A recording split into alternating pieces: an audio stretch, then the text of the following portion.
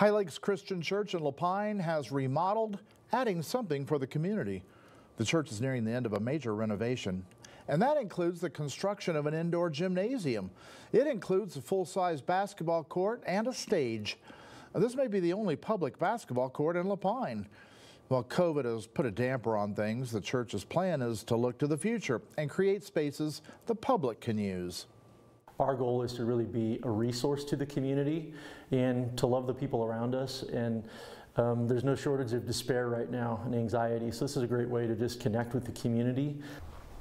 The church also added a single hoop anyone can use outside in the parking lot. Anyone interested in booking that space should contact High Lakes Christian Church.